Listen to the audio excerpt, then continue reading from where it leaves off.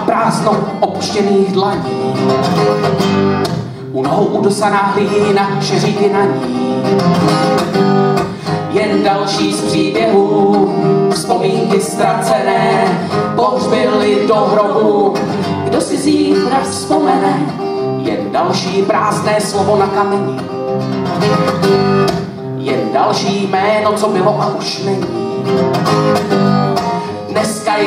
Tebou v slzách na cestě z kostela. Kdo zítra vzpomene si, komu patří ta malá hrska popela. Šeříky do dlaní, dlaně do klína, ruce se pjaté v tiché modlitbě, ústa šeptají, takhle se vzpomíná. Tělo plamenů, popel do hlíny, duše andělů, tichá vzpomínka na hrob prázdno prožitých roků. Kolik jen neznámých men stálo po tvém boku. Kde zůstal ten náš Bůh? A co je vlastně víra? To se teď ukájíme, že smrt si nevybírá, že ještě je čas začínat stále znova že jednou v činy přetavíme svoje slova. Že ještě vede víc, než jedna cesta k cíli, že všechny naše sny jsme ještě nepohřbili, že díky do dlaní, dlaně do klína, ruce se pjaté v tiché modlitbě, ústa šeptají, takhle se vzpomíná.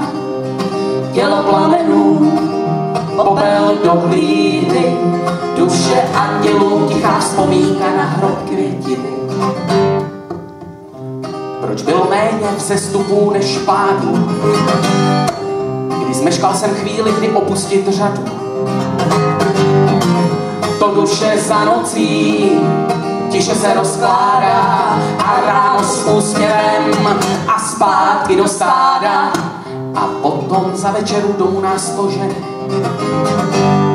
Své jméno popadí tesáme do kamene.